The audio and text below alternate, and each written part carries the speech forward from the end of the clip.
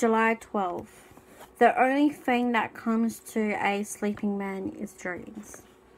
You have to work hard for what you want, or your dreams will never actually happen. You can't just sit back and wait for something to happen. God helps those who help themselves, and those who help others help themselves will succeed. Go. Each and every one of us has a purpose. Make sure you're you are living your dreams. Well, one of my dreams, one was to become a singer. That's never gonna happen, and I know that. And um, another dream of mine is to become a personal fitness trainer, which I'm doing right now, which I'm so looking forward to.